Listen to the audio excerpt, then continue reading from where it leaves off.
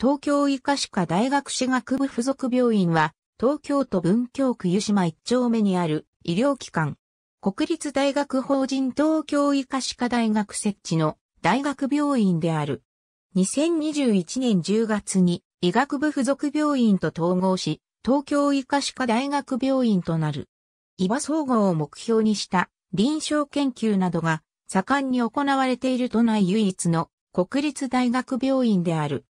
2014年の外来患者44万7403名、入院患者1万7550名と全国の私学部病院の中で最も患者数が多い歯科病院である。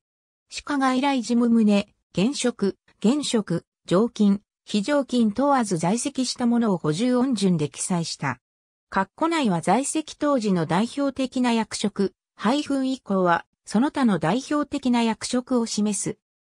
AB 三代冬彦、第12章大学附属病院、歯科医学教育白書2014年版日本歯科医学、教育学会白書作成委員会委員長、桑田文幸委員、笠井和孝、佐藤裕二、田口則弘、田中昭夫、沼部幸宏、高校保健協会、日本歯科医学教育学会雑誌別冊、東京都豊島区、2015年12月20日、第1版、139から145ページ。